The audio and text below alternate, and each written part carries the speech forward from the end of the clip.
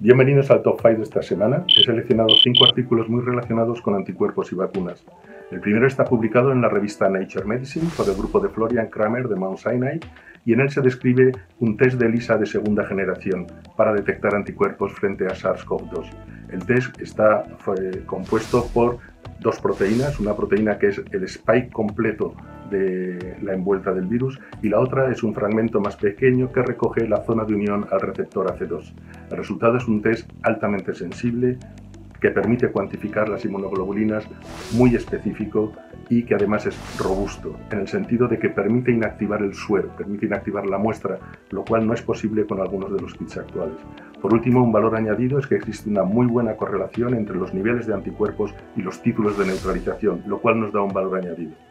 El segundo artículo está también publicado por un grupo del Mount Sinai, en este caso el de Carlos Cotoncardo. Es todavía un artículo en prepublicación, pero es el que valida el test anterior y eh, lo utiliza para el estudio, por una parte, de una muestra de 624 pacientes que son PCR positivos.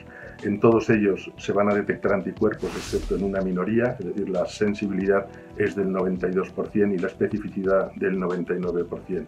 En una muestra de pacientes que no tenían una PCR positiva, llegó a detectar hasta un 38% de pacientes con anticuerpos.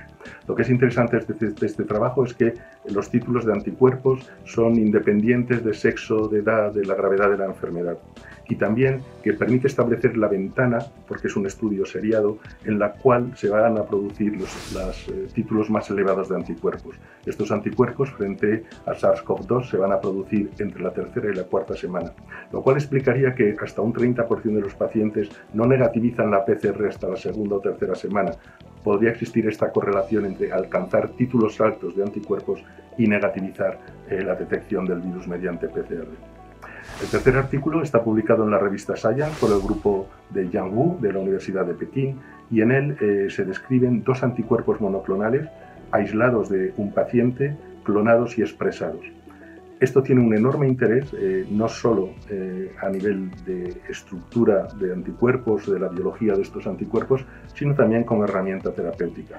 Por eso merece un artículo, un comentario editorial en el mismo número de Science de John Cohen, en el cual eh, se incide en la importancia de estos anticuerpos en dos aspectos. Por una parte, como tratamiento, en aquellos pacientes graves o que están evolucionando mal, la infusión de estos anticuerpos podrían ser terapéuticos, un tratamiento para impedir la progresión de la enfermedad. El último artículo es un artículo sobre vacunas, es un artículo de opinión también en la revista Science, en la cual se definen cuáles deberían ser las estrategias para obtener rápidamente una vacuna frente a COVID-19 y los distintos elementos que deberían jugar, entre ellos la colaboración científica a nivel global, la colaboración entre las compañías farmacéuticas.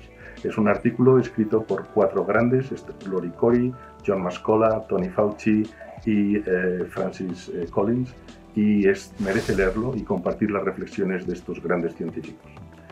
Nada más, hasta la próxima semana.